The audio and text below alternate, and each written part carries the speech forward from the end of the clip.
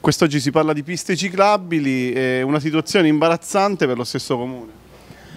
Sì, è una situazione che è nata male e sembra che finisca peggio. Minnella a ottobre postò un video sui social eh, di, eh, paventando dei dubbi da cittadino ai quali dubbi non è stata data alcuna risposta. Noi abbiamo tentato un accesso agli atti per capire la documentazione cosa diceva a tal proposito, ma ad oggi non abbiamo avuto alcuna risposta eh, risposta. Noi non entriamo nel merito tecnico della vicenda perché non siamo ingegneri, però è evidente a tutti che oggi abbiamo zone della città senza asfalto devastate, delle strisce eh, messe lì quasi casualmente e delle biciclette che non utilizzano le piste ciclabili. Allora chiediamo al signor Sindaco di capire eh, questi fondi del PNRR che non sono fondi che ci danno a fondo perduto ma che eh, vanno restituiti, come vengono spesi e se realmente sono un servizio per la città o ci sono dietro altre logiche che a noi sfuggono.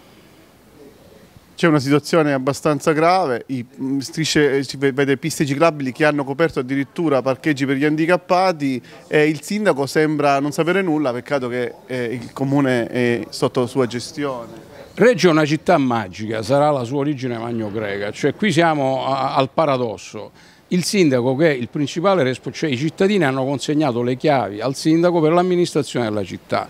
Adesso che lui dichiari la sua ignoranza, ignoranza in senso socratico, cioè di non sapere, è preoccupante che a quei livelli, quando c'è un investimento da 4 milioni e mezzo di euro che stravolge la viabilità della città, lui ha l'obbligo di sapere cosa accade centimetro per centimetro e come venga speso centesimo per centesimo.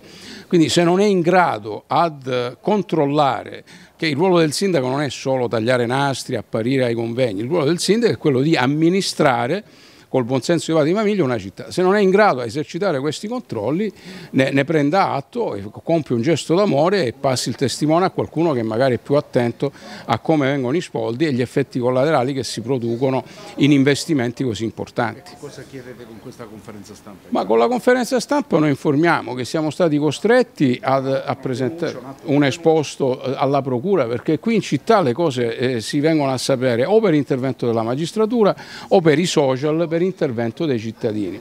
Quindi noi chiediamo che le opposizioni iniziano a svolgere un ruolo di opposizione, che il sindaco faccia chiarezza su come sono stati spesi questi, questi perché il rischio qual è? Che se la pista non è a norma il PNRR non è che dà i finanziamenti e vengono restituiti, il PNR non dà i finanziamenti, quindi noi creiamo un ulteriore danno a già alle anemiche casse del comune di Reggio Calabria. Quindi che si faccia chiarezza, che espongono i documenti e se c'è stato qualche errore che venga evidenziato e i responsabili che vengono individuati e eventualmente messi da parte.